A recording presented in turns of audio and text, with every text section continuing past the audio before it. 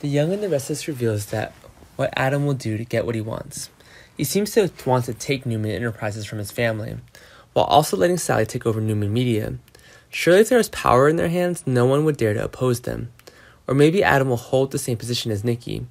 However, that made him find it difficult to accept, and fans believe that Victor really values Victoria, so even if she forgives Ashland, he won't fire her. He even speculated on Sally and Adam's intentions to prevent it. Victor will feel angry at everything, even kicking Adam out of the Newman mansion. After all, what Victor was most interested in was Victoria's business.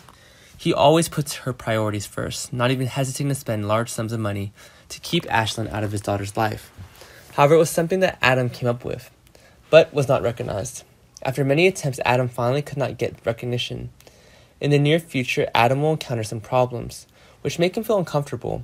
Victoria even made Victor feel and Nikki chief executive officer of Newman Enterprises instead of him. She was worried Adam would take power, so she didn't let him take the position. He did a lot to push Ashland out of the company, but in the end, he didn't get the reward he deserved.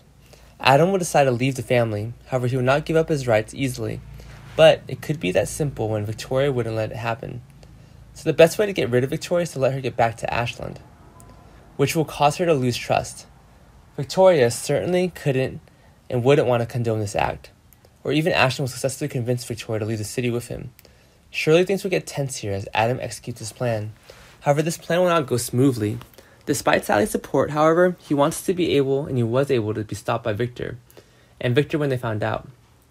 The worst part is that they pushed Victoria deeper into a relationship with a man as bad as Ashland. Adam helped Ashland realize Victoria was torn between forgiving or not. Even with Sally's influence, Victoria still wants and will want to forgive Ashland when she believes he's really changed. Although very confident about everything, it seems that this plan will not go according to their calculations.